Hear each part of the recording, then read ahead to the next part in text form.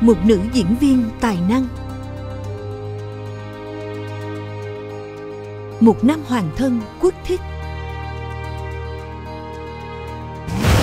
Hai tâm hồn đồng điệu yêu nhau say đắm.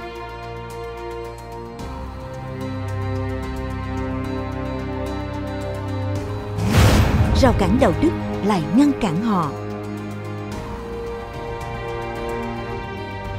Liệu họ có đến được với nhau không? Đón xem khi người giàu yêu.